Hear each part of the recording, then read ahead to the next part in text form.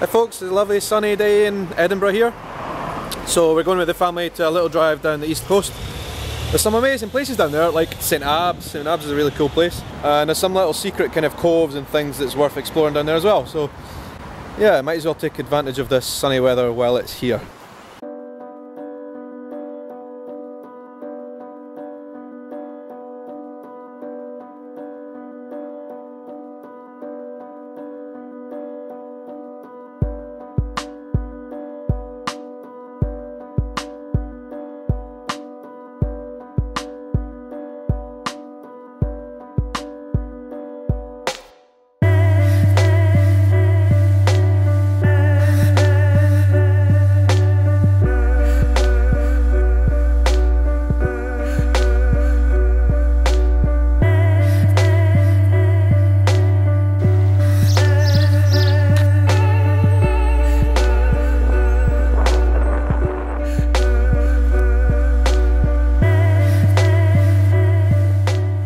This is the first stop on our drive down the east coast.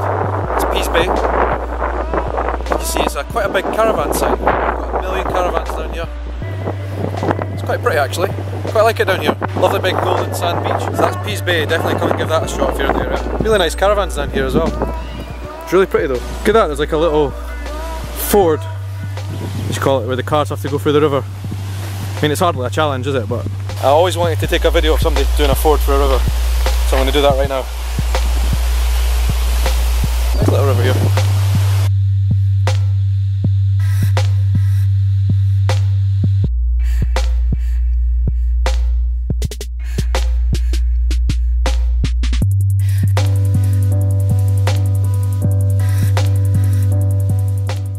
I've never seen these things so close up before.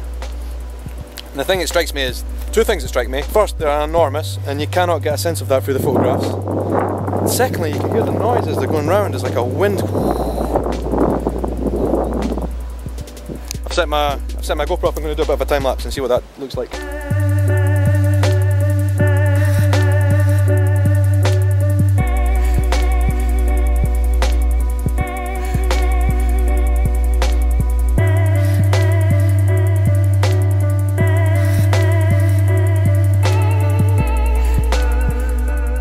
As far as eyes can see, all the way around, is wind turbines.